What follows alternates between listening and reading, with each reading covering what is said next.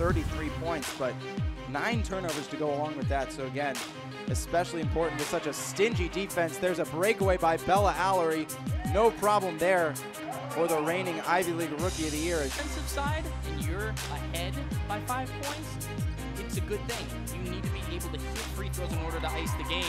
So, Bulldogs, the only problem is, is that Assists per game. Tamara Simpson, the second big player on this Yale offense, gets an easy bucket, and Kulea Ismail just comes right back the other way.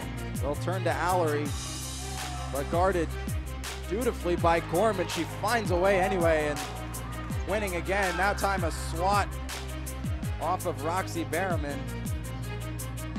And Abby Meyer working high to low with Leslie Robinson in the perimeter alongside Simpson.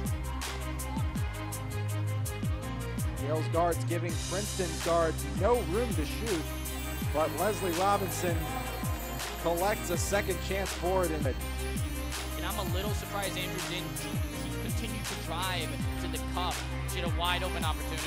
great ball movement by the Princeton Tigers there. I think that was like 90% luck right there. She just kind of threw it up in the air and it banked in off the glass. That's the kind of night she's having.